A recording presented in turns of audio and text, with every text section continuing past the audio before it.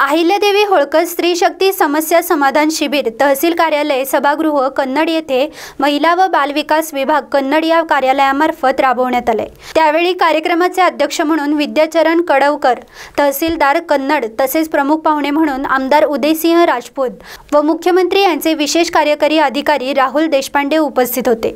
तसेच कन्नड तालुक्यातील प्रत्येक शासकीय विभागातून अधिकारी व कर्मचारी या कार्यक्रमास उपस्थित होते.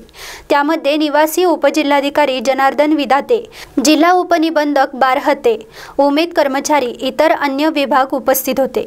सदर स्त्री शक्ती समाधान शिबिरामध्ये तालुक्यातील समस्या महिलांकडून पाचशे अठ्ठ्याहत्तर तक्रार प्राप्त झाल्यात.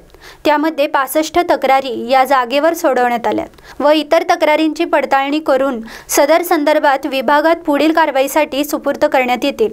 जेणेकरून लवकरात लवकर या उपक्रमात सहभागी झालेल्या सर्व महिलांना लाभ देता येईल. यावेळी सूत्रसंचालन हर्षल पाटील व श्रीमती मेघा सोनवणे यांनी केले सदर योजनेमध्ये जास्तीत जास्त महिलांना लाभ मिळवून देण्याचे महिला व बालविकास विभागाने उद्दिष्ट साध्य केलंय असे या कार्यक्रमातून दिसून आले शिवाजी नवले झुमो न्यूज कन्नड.